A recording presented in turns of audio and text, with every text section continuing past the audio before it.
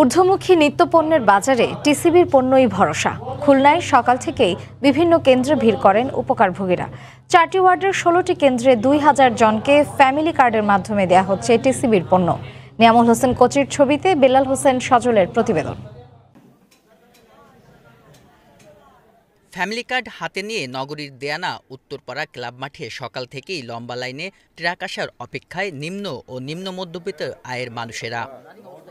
সময় বাড়ার সঙ্গে সঙ্গে বাড়তে থাকে ভিড়ও। মঙ্গলবার চলতি মাসের শেষ দিনে খুলনার এক দুই তিন ও চার নম্বর ওয়ার্ডের ষোলোটি কেন্দ্রে ফ্যামিলি কার্ডের মাধ্যমে দুই হাজার পরিবার ন্যায্য মূল্যে টিসিবির পণ্য কেনার সুযোগ পান। চারশো পাঁচ টাকার প্যাকেজে রয়েছে দুই কেজি মসুর ডাল এক কেজি চিনি ও দুই লিটার সয়াবিন তেল।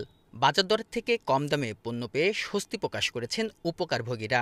এখানে বাইরের থেকে অনেক কম। ওই জন্য এখান থেকে নিয়ে যাই আমাকে উপকার হবে।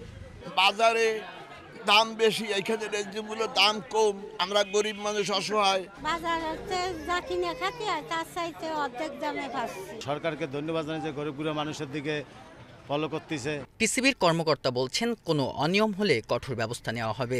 আমাদের কার্যক্রমটি সকাল নয়টা থেকে শুরু হয় পাঁচটা পর্যন্ত চলে। আমরা এই জিনিসটি ভালোভাবে মনিটরিং করছি খুব কঠোরভাবে মনিটরিং করছি।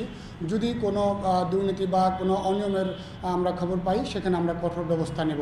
খুলনা মহানগরে পঁচাশি হাজার তিনশো পঞ্চাশ জন ও জেলা পর্যায়ে এক লাখ একানব্বই হাজার সাতশো ষোলো জন ফ্যামিলি কার্ডের মাধ্যমে টিসিবির এই পণ্য পাচ্ছেন।